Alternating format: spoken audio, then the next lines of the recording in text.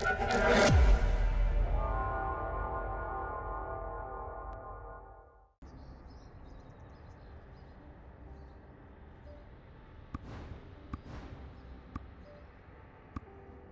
ha.